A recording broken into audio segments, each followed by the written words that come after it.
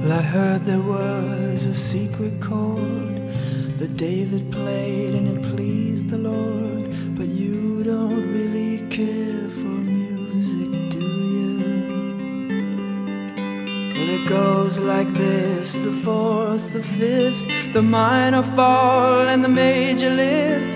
The baffled king composing hallelujah. Hallelujah.